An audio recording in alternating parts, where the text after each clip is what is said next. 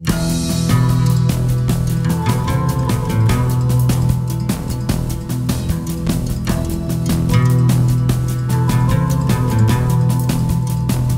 استأنف فريق الكرة الأول بنادي الزمالك تدريباته الجماعية اليوم الخميس استعدادا لملاقاة فريق فلامبو البوروندي بمنافسات دور الاثنين والثلاثين من عمر مسابقة دوري أبطال إفريقيا في نسختها الجارية. وكان لاعبو الزمالك قد حصلوا على راحة لمدة ثلاثة أيام بقرار من البرتغالي مانويل جيسوالدو فيريرا المدير الفني. عقب الفوز على إليكت سبورت تشادي الأحد الماضي في إياب الدور التمهيدي للمسابقة القارية. وتخطى الفارس الأبيض عقبة إليكت سبورت تشادي عن جدارة في الدور التمهيدي لدوري الأبطال بالفوز ذهابا إيابا بهدفين نظيفين في كل مباراة. ويلعب الزمالك ضد فلامبو البوروندي في التاسع من أكتوبر المقبل ذهابا على أن يقام لقاء العودة بالقاهرة في الأسبوع التالي.